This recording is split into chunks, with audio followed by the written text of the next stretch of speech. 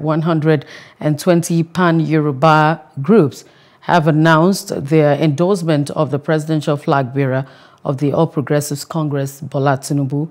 The group noted that it endorsed the former Lagos State governor based on what they termed intellectual acumen.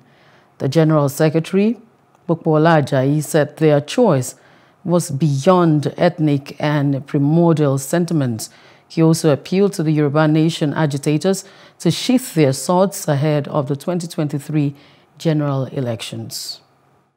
From our own prior informed consent and weighing the variety of choices available to the people of the Southwest, we have to pick a candidate near the prospect of allaying our fears as a people. In making this choice, we are not unaware of the right of the people in the Southwest who may differ.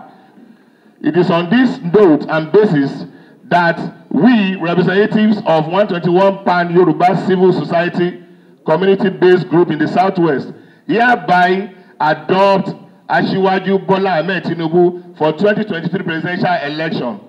Those who hate this candidacy do so for many reasons. One of which is their cruel hatred for an, an anything Yoruba, which they continue to propel, using false narrative to justify their anger against the dignity associated with Yoruba heritage. Hello, hope you enjoyed the news. Please do subscribe to our YouTube channel and don't forget to hit the notification button so you get notified about fresh news updates.